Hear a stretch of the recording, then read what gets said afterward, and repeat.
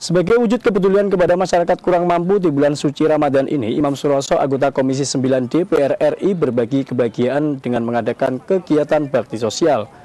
Pada kesempatan bakti sosial tersebut, Imam Suroso membagikan seribu lebih sembako kepada masyarakat kurang mampu. Dan kegiatan bakti sosial ini merupakan kegiatan rutin yang dilaksanakan sejak 10 tahun yang lalu. Pak Imam mungkin uh, Pak terkait dengan uh, agenda Pak Imam pagi ini Pak.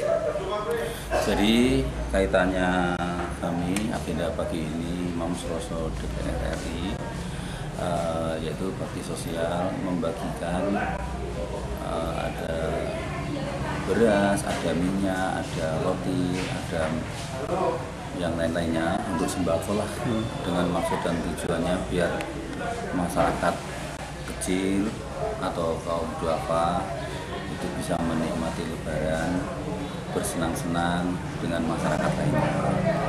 Kemudian tadi juga ada yang ibu-ibu sama anak kecil-kecil kasihan kita kasih juga masalah.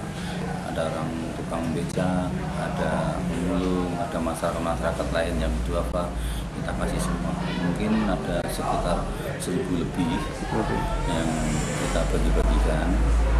Nanti insya Allah kurang kita tambah lagi, tambah lagi nggak masalah. Pak ini agenda rutin atau bagaimana Pak? Agenda ini menurut kami rutin sudah 10 tahun lebih ya. Tahun ya. Kita begitu kalau kita tidak kasih nanti kasihan dan lagi dia sudah diharapkan tahun depan dari Pak Imam ada sembako gratis hmm. satu lebaran. Gitu. Berarti untuk masyarakat yang duafa biar untuk bisa untuk lebaran juga Pak ya? Ya masyarakat duafa itu yang rada kurang ya ikut seneng-seneng lebaran. Mereka pun rata-rata juga puasa juga hmm. biar menikmati puasa dia.